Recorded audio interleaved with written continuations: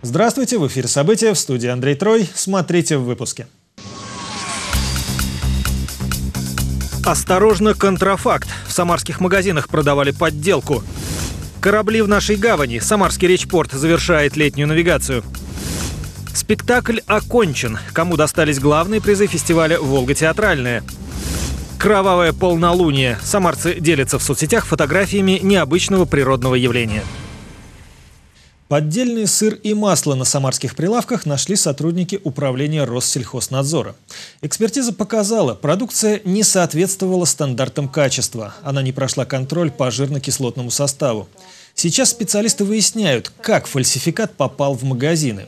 Кроме того, в супермаркете, расположенном в Красноглинском районе города, сотрудники Россельхознадзора обнаружили некачественные мясные продукты. В них содержалась кишечная палочка. Как сообщают контролеры, руководство супермаркета привлекут к административной ответственности. «Ашан» в своей производственной деятельности не осуществляет контроль и не учитывает риски при производстве мясных полуфабрикатов. Так, из 12 отобранных проб в 8 пробах было выявлено превышение общего бактериального микробного числа и группы бактерий кишечной палочки. Такая продукция не должна реализовываться, она может привести как к отравлению, так и к общей интоксикации организма. В Самарской области побиты исторические рекорды температуры. Не только воздуха, но и воды в Волге. Синоптики заявляют, таких значений не было за всю историю метеонаблюдений и обнадеживают, аномальное бабье лето продлится как минимум до среды. Впрочем, осень, хоть и теплую, все равно никто не отменял. Уже со следующей недели на Волге заканчивается летняя навигация. С 5 октября речной транспорт перейдет на новое сокращенное расписание. Это значит, что омики и восходы перестанут ходить до некоторых остановочных пунктов. Услугами речного пассажирского транспорта в Самаре ежегодно пользуется почти миллион человек. Павел Баймаков побывал в речпорту, чтобы узнать все новости навигации. Теплоход еле вмещает в себя всех желающих прокатиться. Десятки человек спешат по своим делам. Особой популярностью летом пользуются поездки с пляжа на пляж, а также на дачу. Не прекращается поток пассажиров и из сел с правого берега Волги. Очень многие работают в городе из Рождества, например, из близлежащих сел. Очень востребовано, очень удобно. Очень часто ездим. Всем очень довольны, особенно обслуживанием. Время года диктует свои правила. Летняя навигация подходит к концу. В связи с этим, начиная с 5 октября, теплоходы перестанут ходить к некоторым остановочным пунктам. Сейчас их больше 20. С 5 октября э, уже выводим из эксплуатации э, пляжные остановочные пункты, которые расположены в зоне отдыха. Пляж имени Фрунзе, Зеленая роща, Средний пляж. Э, плюс еще снимаем остановочный пункт Солнечная поляна и Винновка, расположенная в селе Осиновка. Кроме того, с 19 октября доехать на теплоходе не получится до остановок Зольная, Богатырь. А с 26 октября до Гавриловой поляны, Подгоров, Нижнего пляжа, Шелехмети, Виновки, остановки Монастырь. С 9 ноября прекратятся поездки в Ширяево, на поляну имени Фрунзе и Проран. С наступлением холодов на смену летним судам выйдут 6 катеров на воздушной подушке. Откроется переправа по льду. К зиме для пассажиров речники приготовили приятный сюрприз. Коротать время на пристани долго не придется. Хедлайнером зимней навигации в Самаре станет новейшее, недавно приобретенное судно на воздушной подушке «Нептун-23». Всех своих предшественников оно превосходит большой пассажировместимостью 23 человека и хорошей проходимостью. «Нептун-23» может спокойно пройти даже по битому льду. Павел Баймаков, Дмитрий Мешканцов. События. Самарские дорожники продолжают рушить стереотипы. Они научились не только качественно укладывать асфальт, но и быстро. В этом году даже установили своеобразный рекорд. Завершили работы на две недели раньше положенного срока. Тема дорожного ремонта, а в этом году приведут в порядок 12 улиц, стала ключевой на совещании в городской администрации. Главные тезисы записала Марина Кравцова. Идеально ровная дорога, аккуратные тротуары, пешеходные переходы. Улица Агибалова от Красноармейской до Коммунистической почти готова. Осталось только доделать дорожное ограждение. В этом году в Самаре приведут в порядок 13 дорог. Причем заменят не только асфальт, бордюры и тротуары. Там, где необходимо, установят новые фонари. Всего на благоустройство улиц, скверов, дворов из областного и городского бюджетов выделили более полутора миллиардов рублей. Улицы Венцик, Ульяновская, Шестаковича, Студенческий переулок, проспект Юных пионеров практически практически готовы, а на некоторых капремонт продолжится в следующем году. Улица Антонова Овсеенко, от Авроры до 22-го партсъезда. Контракт переходящий. Работы будут заканчиваться в 2016 году. В этом году мы делаем только дублер Антонова Овсеенко. Еще 33 дороги ремонтируют так называемыми картами, участками более 100 метров в длину. На счету каждый рубль. По многим контрактам удалось существенно сэкономить бюджетные деньги. К тому же дороги и тротуары в порядок приводят и ресурсоснабжающие компании после ремонта сетей. Тротуарная плитка от гостиницы «Волга» до Ульяновского спуска в полном объеме тротуар сделана. Это за счет э, вне бюджета, за счет организации, которая производит скрытие. И Красноармейская тоже плитку сделали. В этом году контракты заключили гораздо раньше обычного. И с ремонтом дорог подрядчики справились на неделю-две раньше установленного срока. В этом году впервые достаточно рано расторговались. Это был значит, конец апреля, начало мая. Это позволило нам основные работы провести в первой половине лета. Олег Фурсов поставил задачу ведомствам всю проектную документацию по ремонту дорог на следующий год отправить в Министерство транспорта заранее. Тогда подрядчики смогут начать работу сразу, как наступит подходящая погода. Проект ремонта улицы 22-го партсъезда уже готов. По Ракитовскому шоссе вышел на финишную прямую. Марина Кравцова, Максим Гусев. События. Бьют ковшом и рвутся в бой. Снегоуборочная техника полностью укомплектована, рапортуют городские коммунальные службы. В этом году они так же, как и дорожники, учатся работать по-новому. Тыл готовит сейчас, когда зима хоть и близко, но еще не на пороге. О современных методах борьбы со снежными заносами репортаж Марины Матвейшной. По паспорту лаповый погрузчик, в народе золотые ручки. Этот зверь в паре с КАМАЗом в два счета очистит городские магистрали от снега. А расправляться с заносами будут 9 таких машин. Вот эти лапы, они загребают снег. Будут грести снег, и через этот транспортер будет в КАМАЗ грузиться. КАМАЗ будет идти за мной. И будем грузить снег в КАМАЗ.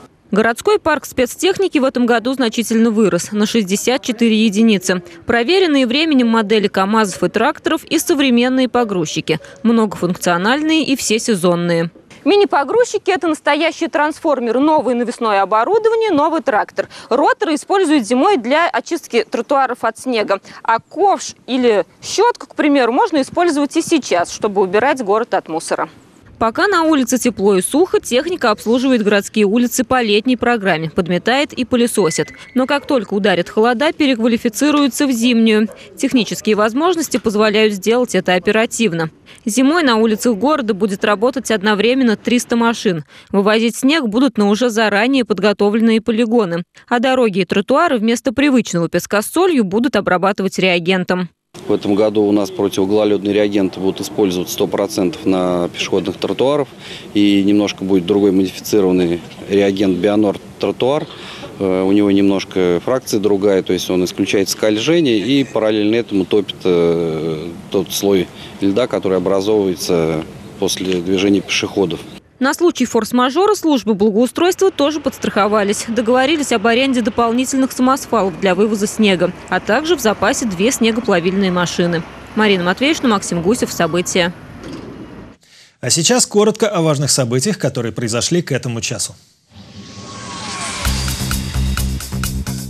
Самарец устроил оружейный склад в гараже. 42-летний мужчина собрал целый арсенал пистолетов и автоматов, переделанных из травматического оружия в боевое, а также боеприпасы к ним. 360 патронов разного калибра и порох. Сейчас силовики выясняют, зачем Самарцу понадобилась столь внушительная коллекция. Безработный житель Самары угрожал взорвать несколько офисов банка. Вечером в субботу, 26 сентября, в полицию обратился руководитель одного из банковских учреждений. Он рассказал, что в колл-центр позвонил мужчина и сообщил о якобы готовящихся взрывах. К поискам преступника привлекли сотрудников уголовного розыска и ОМОН. В течение получаса силовики задержали звонившего. Появилось новое видео строительства космос-арены, снятое с квадрокоптера. Напомним, что фундамент стадиона к чемпионату мира 2018 готов на 75%. Окончание работ запланировано на ноябрь-декабрь. Далее последует монтаж металлоконструкций всего стадиона. Пользователи соцсетей делятся снимками кровавого полнолуния. Рано утром 28 сентября жители России, в том числе и Самары, наблюдали за последним в этом году полным лунным затмением. В этот раз оно совпало с так называемым суперлунием. Это когда спутник Земли находится максимально близко к нашей планете и кажется больше, чем обычно. На этот раз эффективность картинки придал тот факт, что Луна приобрела красноватый оттенок. Российское правительство подписало постановление о переносе праздничных дней в 2016 году. Россияне помимо отпуска получат 30 суток отдыха. Новогодние каникулы продлятся 10 дней. Майские праздники будут сгруппированы по 4 и 3 дня. На Международный женский день выделено 4 дня. На День защитника Отечества – 3.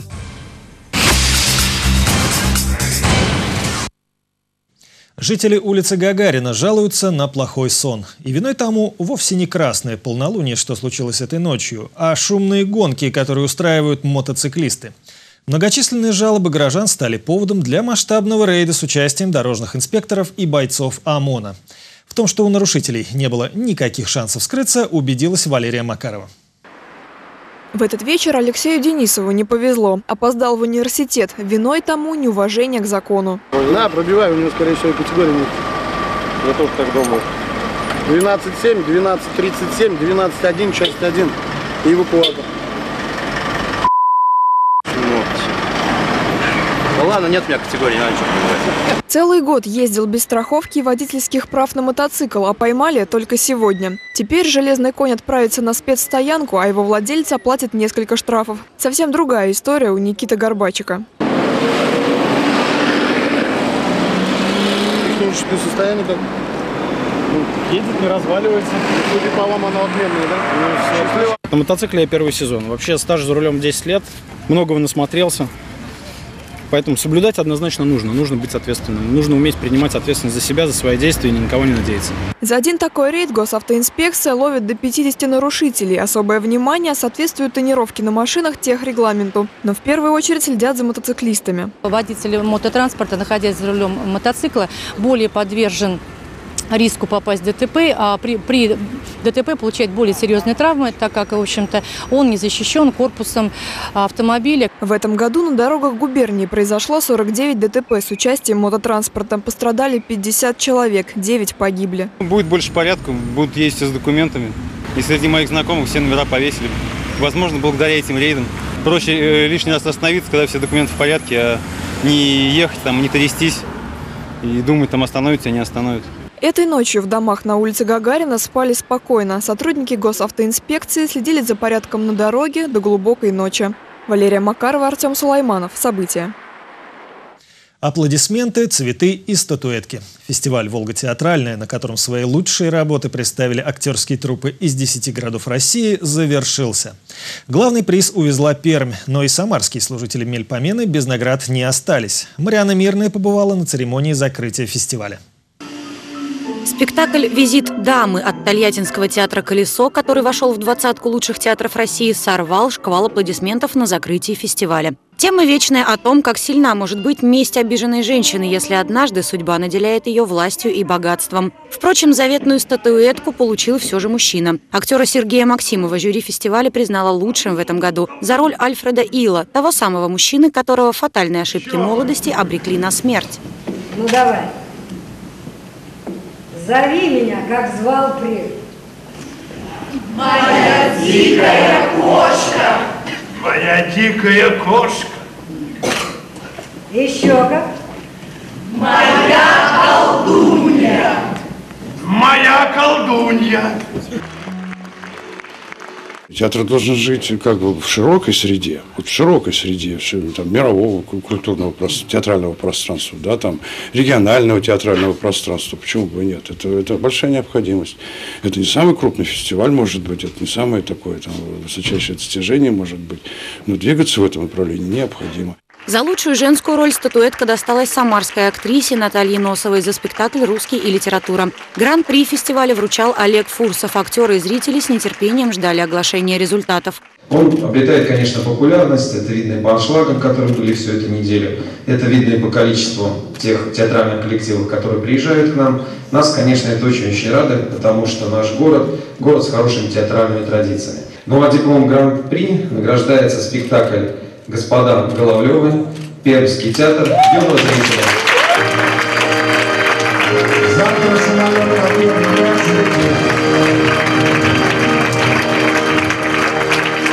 Я очень надеюсь, что этот фестиваль будет долгие годы жить и будет очень успешным. Спасибо. Расставаясь на хорошей ноте, актеры и зрители не прощались друг с другом, а говорили «увидимся через два года». Третья «Волга» театральная состоится в 2017 году. Мариана Мирная, Максим Гусев. События. В преддверии Международного дня пожилых людей в Самаре отметили самых активных людей почтенного возраста. Они удостоились почетных знаков и грамот губернатора. Награжденные проявили себя в разных сферах – соцработа, спорт, медицина, развитие ветеранского движения. От имени губернатора гостей приветствовала министр социально-демографической и семейной политики Марина Антимонова. В Самарской области проживает больше 800 тысяч людей пожилого возраста. Средняя продолжительность жизни в губернии выросла почти до 70 лет. Почтенный возраст не помеха для активной жизни, считают пенсионеры. Для нас очень важно и ценно, когда люди, которые имеют богатейший жизненный опыт, тем более то, те поколения, которые участвовали в войне, они сейчас, несмотря на то, что, казалось бы, заслужили отдых, продолжают трудиться, делиться своим опытом, помогают воспитывать молодое поколение. Самому пожилому бегуну за 70, самому молодому не больше пяти. Самарская область присоединилась к всероссийской акции «Кросс нации-2015». В этом году в ней приняли участие 84 региона. Самарский спортивный марафон привлек почти 5000 жителей. Дистанции подбирали в соответствии с возрастом и физподготовкой от 300 метров до 12 километров. Специальный забег на 218 метров посвятили чемпионату мира по футболу, который пройдет в России. Бежали не за призами, а за здоровьем и для проверки собственных сил, уверяют участники. Главное стартовать, а дальше газануть, а дальше уже не обязательно. Ежегодно мы готовимся в клубе, занимаемся бегом. У нас всегда заряжен спортивный дух, хорошее настроение. Все-все у нас, все в порядке. Большой баскетбол стартовал в Самаре. Турнир памяти легендарного тренера Генриха Приматова начался с ретро-матча. На паркет вышли звезды баскетбола 80-х и 90-х. В том, что бывших чемпионов не бывает, убедился Сергей Кизоркин. На паркет в ретро-форме выходят ветераны. В красном – команда «Строитель». 80-е под руководством легендарного Генриха Приматова, заслуженного тренера Советского Союза, она попала в элиту советского спорта. В белых майках еще одна баскетбольная эпоха – команда 90-х. Самара тогда стремительно ворвалась в первый эшелон профессионального европейского баскетбола. Некоторые игроки успели поиграть за сборную России на Олимпиаде и чемпионате мира. Мы по-прежнему в спорте, по-прежнему любим баскетбол, независимо от нашего возраста. После окончания карьеры ты все равно эмоциональный человек. Тебе хочется и забивать, и выигрывать. Хорошо, что баскетбол живет в Самаре. Усилиями баскетбольного клуба «Самара» сейчас сохраняется. Это очень хорошо. То, что помнят, то, что дети приходят, дети тренируются. Преемственность поколений существует. То есть есть наш возраст, есть чуть помоложе, есть совсем молодые. Это радует. Возраст ветеранам баскетбола не помеха. Кому за 40, кому за 60. Но спортивный азарт до сих пор у них в крови. И хотя матч длился всего 20 минут грязного времени, а не 40 минут чистого, борьба на паркете получилась нешуточной. Каждое очко добывалось, как в молодые годы, с трудом. В итоге победила дружба со счетом 22-22. Приматов пришел 39 лет назад, мы были молодыми, моложе на 39 лет, и мы почувствовали себя такими же молодыми, как и ребята, которые играли напротив. Поэтому благодарны организаторам турнира за то, что предоставили такую возможность вернуться в молодость. После матча ветеранов турнир Приматова продолжили современные команды. За кубок куйбышевского тренера сразятся победители – команды «Самара» и «Красный Октябрь» из Волгограда. Александр Шугаев, Сергей Кизоркин, Алексей Золотенков. События. Владеют не только пером, но и клюшкой. В Самаре прошел юбилейный турнир по мини-гольфу среди средств массовой информации. Его организаторы – региональный Минспорт, Федерация развития гольфа и областной союз журналистов. Напомним, в прошлом году команда телеканала «Самара ГИС» заняла на турнире первое место. В этот раз, чтобы не расстраивать соперников, наш канал уступил Кубок первенства.